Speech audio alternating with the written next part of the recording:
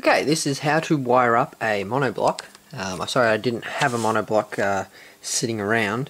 Um, but anyway, this is how to wire up. We've got a single voice coil and a dual voice coil sub, and I'm just going to show you how to wire it in series and parallel to a monoblock. Uh, keep watching and after I show you this, because I'm going to show you another scenario which you might might come across with a monoblock.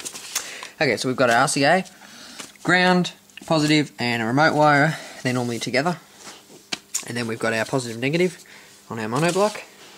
Okay, well for a single voice coil sub, okay, it's as simple as running your ground wire to your negative and your positive wire to your positive. Okay, that's it. That's how you do it. So if you if it's a 4 ohm sub like this one, you're going to get a 4 ohm load on your amp, and uh, whatever your amp says it puts out a 4 ohm RMS, that's what you're going to get. So that's how you do that one. Then you're going to get your dual voice coil. Now this is where people probably have more problems because you've got terminals on both sides of the sub. Okay. Now you can wire it in parallel. Now wiring in parallel meaning positive to positive on this side and negative to negative on that side.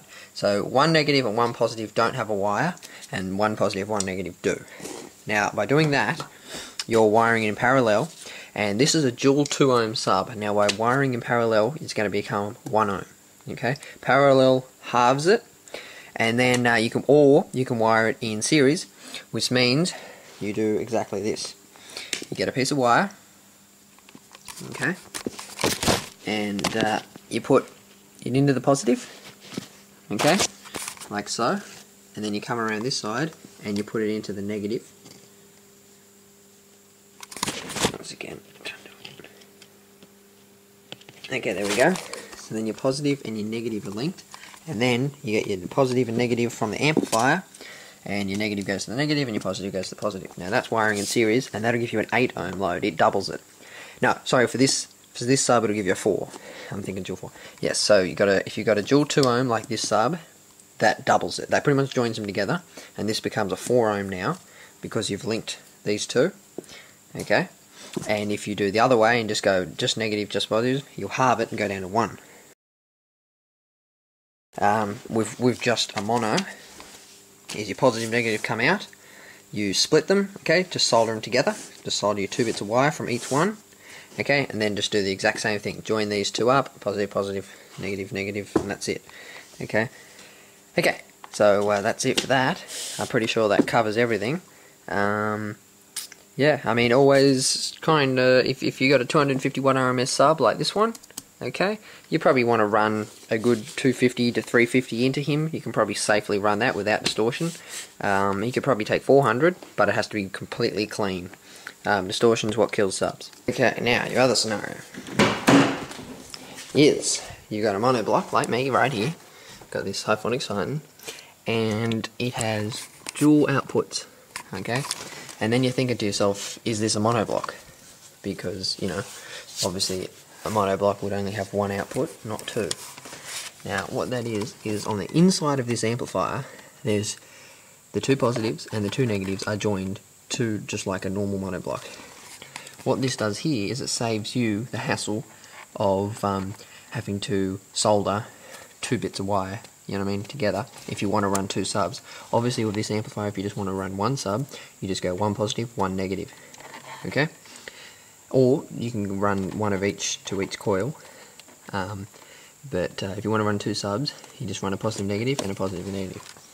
So uh, that saves that problem. Now on this amplifier, I've got mine each sub wired to 4 ohm, okay, um, in series, and then uh, then I've wired them together and it's halved it and it wired series parallel, and now it's a 2 ohm load on the amplifier. That's putting out 500 watts, meaning each sub's getting 250, and then obviously the other side's got another amp. So yeah, that's another situation you may come across, is where you've got a mono block, but it's got four outputs and that just means on the inside they're actually one output. So yeah, if you just want one sub, just bridge it. You know what I mean? It's the best way to do it. We get a, a um, multimeter like this one. Prongs, as you can see, one positive, one negative. Now it should be showing a 2 ohm load.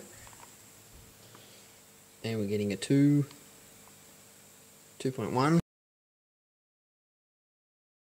as I showed you just then um, with the multimeter, even though you've got a, um, a both 4 ohm load per sub, as you can see when I put it on the uh, output, even though there's two, it still comes up at 2 ohm.